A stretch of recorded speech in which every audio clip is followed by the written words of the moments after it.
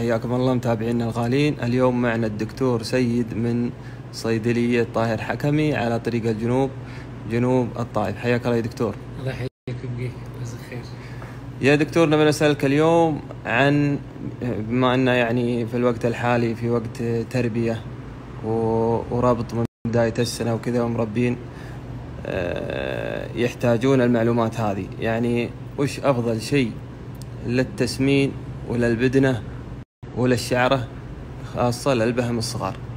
سواء سواء حشو سواء آه، بهم سواء تيوس. الله يفتح عليك.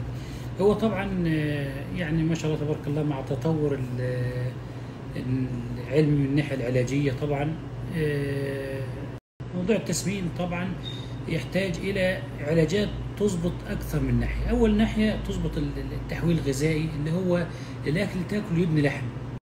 طيب يبني لحم معنى ذلك إنه هو محتاج إنزيمات عالية في في في, ال في الكرش. محتاج إنزيمات هضم تكون متوفرة بطريقة كويسة. محتاج كفاءة آه، الكبد عالية. حصاره صفراويه تهضم الأكل ده. تمام؟ طبعا مع الأمراض مع يعني الأعلاف اللي ممكن دي طبعا فيها أكثر من ميزة الفرنسية دي بالذات فيها أكثر من ميزة.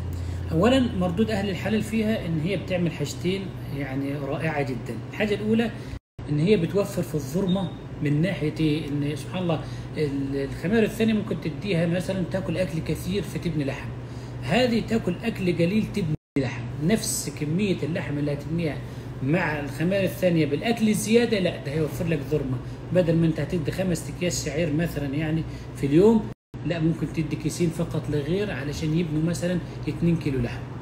هذه هذه أول ميزة. يعني أنت قصدك يا دكتور إنها تحسن من التمثيل الغذائي. كل ما أكلت شيء حاجة بسيطة الله يفتح استفادت الله عليها أقصى فائدة. بتعمل إيه الخميرة ديت؟ بتمص الأكسجين اللي موجود في في الكرش تمام؟ ما تخلي أي غازات في في الكرش تمام؟ بتظبط الحموضة بكفاءة عالية جدا لأن الحموضة إذا زادت في في الكرش الحلال للأسف الشديد بيكون الامتصاص بتاع الأكل ضعيف. فمجرد ما تدي الخميرة دي بتمص الايه بتمص الأكسجين اللي في الكرش وتظبط الحموضة بتاع الايه بتاع الكرش. إذا ظبطت الحموضة الإنزيمات والبكتيريا النافعة اللي موجودة في الكرش بتكون كفاءتها عالية بالنسبة للإيه؟ الهضم. وبالتالي التمثيل الغذائي بيكون أعلى درجاته علشان كده مجرد اي ما تضيف معاها أي فيتامينات معاها طبعا ده من أكثر من اكفى الفيتامينات ال- ال Multi Power اللي إحنا استخدمناها مع الخماير. وما شاء الله تبارك الله يعني عندي عملاء هنا بفضل الله رب العالمين يعني فطبعا بتحط فنجان على أربع سطور من كل حاجة من من, من هذه التركيبة. طبعا ما شاء الله تبارك الله تسمين عالي جدا في خلال أسبوع واحد. في أسبوع واحد تجد الحالات تغير 180 درجة. يعني النتيجة تلاحظها خلال؟ أسبوع. أسبوع واحد فقط لا غير. وبفضل الله يعني من تعليقات الزباين من ثالث يوم تبتدي الحاله تتغير هو الزبون بيستغرب. يا ولد الأكل قل وما شاء الله تبارك الله الحلال بدأ يستبدل وبدأ كده. وجهه نفسه يتغير. ميزة الهيبارين كمان بيدي لمعان في الصوفة. تحس كده الصوفة دهنية كده. آه، من كفاءة الإنزيمات اللي بتخرج من العصاره الصفراء اللي بتخرج. طيب طبعا طريقة العلاج مهمة جدا جدا جدا. لأن بعض الناس ياخذ مثلا أقول له فنجان على أربع سطول من هذا فنجان على أربع سطول فنجان على أربع يجيب أربع سطول كفر مثلا حق جيمس ويروح يحط فنجان فنجان فنجان. هذا طبعا خطأ فادح جدا ليه؟ لأن دي تركيزاتها كلها عالية. فالسماكة بتاعت السائل عالية. فأنا علشان أتلاشى هذا الموضوع أنا هجيب أربع سطول مثلا كفر تمام؟ في أربع سطول فأنا بحط الخلطة هذه كلها في سطل واحد.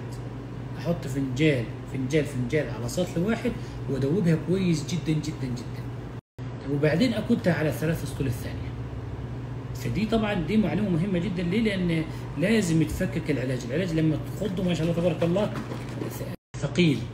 فإذا حطيته أنا كده من غير ما أدوب ذوبان كامل يحصل عندي مش هيديني النتيجة اللي أنا فعلا الدكتور قال عليها. ليه؟ لأن طريقة العلاج خطأ، تمام؟ بالإضافة إلى ذلك طبعا لازم لازم نضم الحلال. مع الشتاء لازم نضميها من العصر إلين تاني يوم الظهر.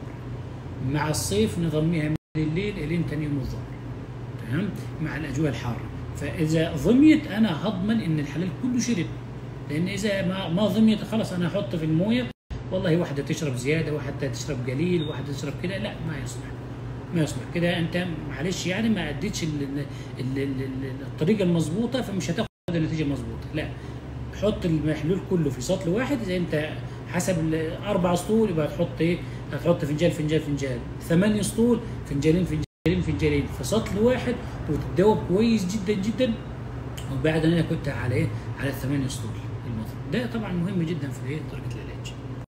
طبعا ال- الخمائر دي خمائر نقية خمائر 100% مش عليها أي شوائب مطلقا. ولذلك نتيجتها يعني سريعة جدا لأن مصنع ما شاء الله مصنع متخصص في الخمائر فقط لا غير.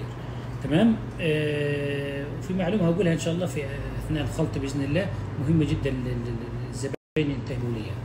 آه، دي طبعا آه، فيتامينات واملاح وأحماض أمينية فيتامينات ومعادن وأحماض أمينية تمام؟ فيتامين الف د 3 فيها تركيز عالي فيتامين B فيتامين C آه، أحماض أمينية طبعا لها دور عالي جدا في موضوع الايه بناء اللحم. يعني كأنك بتدي بروتين آه، صافي كده بتدي الخماير وبالتالي لما تدي أي فيتامينات معاها خاصة ال- ال Multi Power ده آه، بيبني معاك لحم سريعا. ليه؟ لأن طبعا الإنزيمات متظبطة الحموضه متظبطة في الكرش الأكسجين مرفوع من الجسم فبالتالي هتشرب الحلال يحصل امتصاص عالي جدا ليه؟ فيبني معاك لحم سريعا طبعا عليه الكوبلت الكوبلت طبعا قوي جدا في موضوع طبعا اتكلمنا عنه قبل كده في موضوع الصوفه تعرج الصوفه والصوفه تلاقيها واقفة كده. ده كله ده بيكون نقص من النحاس ونقص الكوبلت فأي فيتامين لما يكون فيه تركيز عالي من الكوبلت والنحاس صراحة بيريح جدا جدا آه، بيدي الصوفة كلها مستقيمة. الخطوط اللي بتكون في ال- في ال- في الحلال دي في الظهر بتكون بنقص نقص المعادن. فالمنتج ما شاء الله تبارك الله فيه معادن عالية في كوبلت عالي في آه، نحاس عالي مع الالف دال ثلاثة طبعا يبني عظام. فكفاءته ما شاء الله تبارك الله يعني مع الخمائر تدي كفاءة سريعة جدا. التركيبه برضو ال- ال- الهيبارين تركيبه طبعا مش طبعا منشطات الكبد الموجوده في السوق آه، هي سوربيتول فقط لا غير. لا ده سوربيتول وكولين وبيتايين و... و L-carnitine وأرتوكولين وروزماري. حاجات كده آه، ما شاء الله تبارك الله مش مش فقط كتنشيط كبد لا كتنشيط كبد ومنشط عام للإنزيمات الانزيمات الهضم. تمام؟ ورافع مناعة سبحان الله قوي جدا. أنا في حالات كثير يعني حصل من فترة كده كان هجمة اللسان الأزرق من فترة تمام؟ ولغاية هنا قريب من العام الماضي ظهر عند اثنين آه، لسان أزرق. فكان أكبر حل صراحة للامراض الفيروسية نص الكبد. لأن الأمراض الفيروسية بتهجم على الكبد بكفاءة سيئة جدا فبتتعب الحلال وبيحصل عنده إجهاد شديد. فده فور مجرد ما ياخد من الحلال يشيل الإجهاد مباشرة. حتى إجهاد الظلمه حتى إجهاد ال- التحصينات آه، إجهاد ال- في معلومة قلت لي يا دكتور؟ طبعا زي ما إحنا قلنا فيتامين آه، الأمراض الفيروسية تمام؟ الجدري الطاعون أبو ركب الحاجات هذه سبحان الله يعني آه، أفضل آه، علاج ليها خلط آه، مش خلط إنك تدي تركيبة فيها فيتامين سي مع فيتامين سيلينيوم وطبعا أنا يعني في السوق السعودي من زمان ما شفت إلا هي تركيبة واحدة لشركة المهن عاملة ال- السي- السيليفيت. ده طبعا منتج وحيد هو اللي فيه فيتامين هي سيلينيوم مع فيتامين سي. يعني عجيب. يعني من من كلامك يا دكتور ما في منتج معه سيلينيوم وفيتامين سي إلا منتج واحد في السوق؟ السيليفيت إي. اللي هو هو؟ ده الوحيد اللي السيليفيت إي ده ده الوحيد اللي هو فيتامين سي مع فيتامين سي. وما شاء الله تبارك الله يعني يعني في المناعة من ثاني يوم بيوقف المرض. في النشرة من أول يوم ما شاء الله تبارك الله بي- بيجيب نشرة من الحلال. دي سبحان الله من الحاجات العجيبة اللي أنا يعني إيه شفتها. ده طبعا لما لما سألت ال- المستورد ليها وكده فخاطب الشركة. فقال له إحنا عندنا العلاجات عموما درجات. تمام؟ ده يعتبر النجمة رقم واحد في الفيتامين هيسلينيوم على مستوى العالم. ما شاء الله. تمام؟ ده واخ- واخد ستار رقم واحد على مستوى العالم. أي تركيز منه بيدي نتائج في الحلال ما شاء إن الله. كان 5% كان 10% كان 20% أي تركيز منه بيدي نتيجة واضحة في الحلال فده طبعا ما شاء الله تبارك الله يعني إيه السيليفيت اي ده؟ ما شاء الله من من أقوى الحاجات اللي بنستخدمها دايما في الأمراض الفيروسية. جدري طاعون أبو ركب. نشرة آه، وغيرها. ونشره. ونشره فعال ما شاء الله تبارك الله يعني. فعاليته عاليه الله يعطيك العافية دكتور. سيد استفدنا منك فائده عظيمة و- وأعطيتنا معلومات مهمة نستفيد منها وننشرها لمتابعينا. والله يكتب لك إن شاء الله امين ويوفقك. الله يجزاك خير اخو محمد. إحنا تشرفنا بيك والله والطلة الجميلة دي ربنا يبارك فيك. ولعل يا ربي ربنا ينفع بهذا العلم يعني لله سبحانه وتعالى. آمين إن شاء الله. ال- على قولهم زكاة العلم نعم. نشره. والله يعطيك العافية دكتور. الله يبارك فيك. जाकर like this relationship.